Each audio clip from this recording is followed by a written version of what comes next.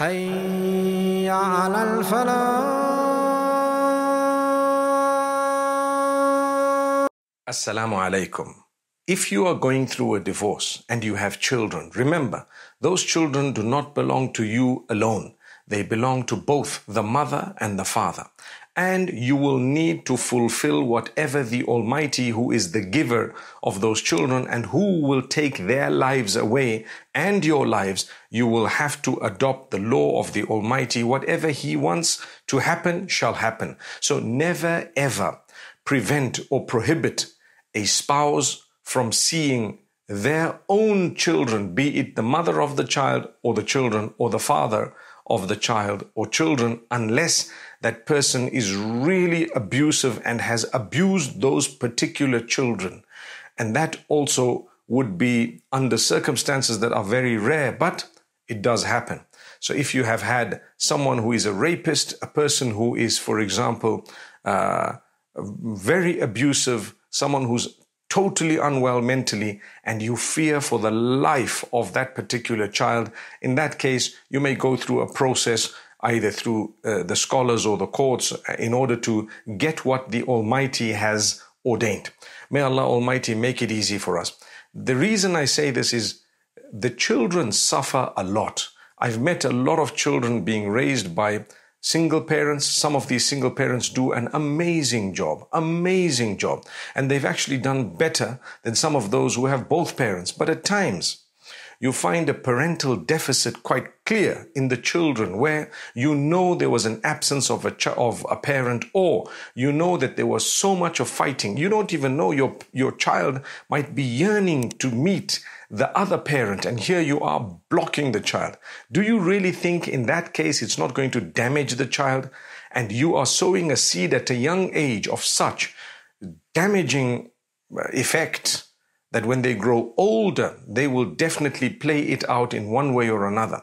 Either mental issues, emotional issues, psychological issues, health issues, whatever else it may be, social issues, but it is picked up a lot of the times that this child has struggled when it was little, when he or she was little. And therefore, my brothers, my sisters, Fear Allah regarding your children. Remember, the child does not belong only to you. No matter who it is, the child has a mother and a father. Remember that. So therefore, my brothers, my sisters, you should allow the other parent the opportunity to either have the custody when it is ordained or the access when it is ordained. Now, my brothers, my sisters, let's be reasonable. If you come from a family, or if you yourself are so busy you don't have time for the children or the child, or you know that the upbringing of the child is not going to be good with you, then don't be too hard and fast regarding the upbringing of that child and for them to be with you because you know that it's not good enough for them to be with you. You're hardly there, or there is a lot of screaming and shouting in your house, or some of the inhabitants, maybe including yourself or a parent or whoever else, might have terrible habits like being an alcoholic or a drug addict to the degree that it is detrimental for the child. In that case, remember, look at what is best for the child. Don't fight a case simply because you want to prove a point to your ex Please look at the interest of the child and look at what is best for the child. I've seen people who have no scope to raise the children, but what they do is they fight in order to prove a point to their exes. We are not using as a football little children we kick around from pillar to post. That's not how it works. In Islam, you're supposed to look at where the child is best fitting and what is the best for the child over and above what Allah Almighty has ordained. So the mother gets preference in the early years of the life of that particular child. And later on, the father gets preference when it comes to uh, the custody at a certain age, perhaps at the age of 9, 11, depending. And whether it's a boy or a girl, there are different rules. Remember, Still, if you know that there is an amicable solution between yourselves, the Islam says it's okay, you can resolve it yourselves. So the rulings may drop aside if you have agreed if the father comes about and says, Listen, I'm unable to look after these children, I'm going to provide for them, the father must provide for these children up to the age of majority or up to the age when the children, when the, when the daughter is married or up to the age when the, the, the son is earning and is on his own two feet. But at the same time, you must remember that if you know that you cannot raise the child, you can come up and say, Look, I'm not going to be able to do this.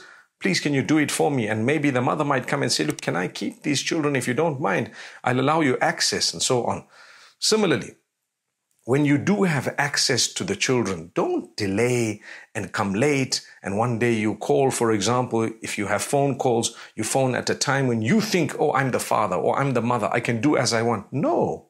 You need to stick to a time. These children wait for your calls at times, and you need to be able to say things. There is no point in demanding a one hour call when you're only going to speak for 10 minutes with your child and you won't know what to say.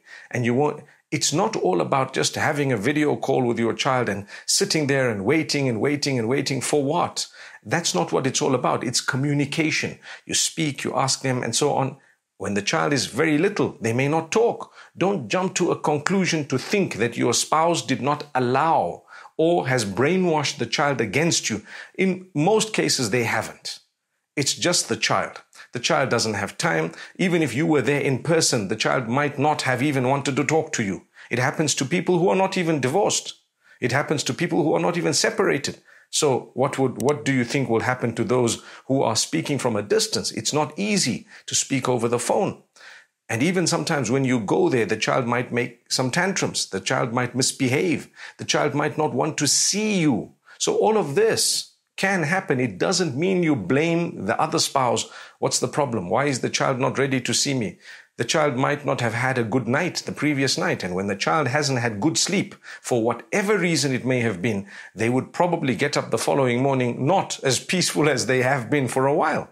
So, my brothers, my sisters, don't think bad thoughts. Look at what's best for the child. You may have to sacrifice and you will have to sacrifice a lot, but you must allow that custody and access wherever it belongs. And be open about it. Like I said, if you have to visit, don't say, I'm coming at nine o'clock and then you pitch up at 12 or you pitch up at 10. An hour later, the child is going to be tired, not even wanting to see you. If, if it's five, ten minutes here and there, it's okay. But in the case of divorce, when you've given a time, try to stick by it because it may, it may affect the plans of everyone. Also, when a child is very little, try not to take that child away from the mother because even if you have access, you can see the child and then you leave the child with the mother and you continue. And you can see the child regularly if you want. But if the child is very little and you're going to take the child away, if you are not prepared to fully take care of that child, then you may cause damage to that child by separating it from its mother. And that's the reason why in Islam, the mother is given much more importance than the father in the early years of the lives of these children. Subhanallah. It's amazing. This is the law of Allah subhanahu wa ta'ala. So remember this. And as the child grows, you may take the child maybe for an hour, bring them back. Perhaps when they grow to about five years old, you might want to take them for a day and bring them back. When they grow to seven, ten, you might want to take them for a weekend and bring them back and alternate the weekends. You cannot have every weekend because the mother might want some of the weekends and you must be okay, you must be reasonable about these things. You must be able to compromise a little bit here and there. This is when we will be raising children who will be beautiful children with the least issues, inshallah azza. I really pray for those who've gone through divorce, for the single parents. It's not a joke. It's not easy. May Allah make it easy for you. I'm sure most of you are doing a splendid job, but please try and go easy on these children. Remember, they are affected very much by your statements, your words, your squabbles, your fighting, your delays, your unreasonably your your, uh, your unreasonable behavior. They are affected, and you know when it plays out as they grow into their teenage years and beyond, it plays out very badly. Sometimes even in adulthood, it plays out, and you can trace it back to when they were children and when the father was being ridiculous when it came to these particular children. Also, my brothers and sisters, I seize an opportunity to say, do not, I hope you're not doing it, but I'm just going to say, do not, do not brainwash your children against the other parent. Don't do that. It's a waste of time. And you know what? You're going to get nowhere. And actually, you will answer in the eyes of Allah subhanahu wa ta'ala. You've had squabbles, leave them between the adults. Those children, mostly, mostly, do not need to know about them, especially in the early years of their lives. May Allah Almighty guide us all and give us the best of this world and the next. Assalamu alaikum wa rahmatullahi wa barakatuh. Thank you so much for listening to this short message. I pray that it has increased you in a little bit of motivation and hope, and the same applies to all of us. Jazakumullah khair. Assalamu alaikum wa rahmatullahi wa barakatuh.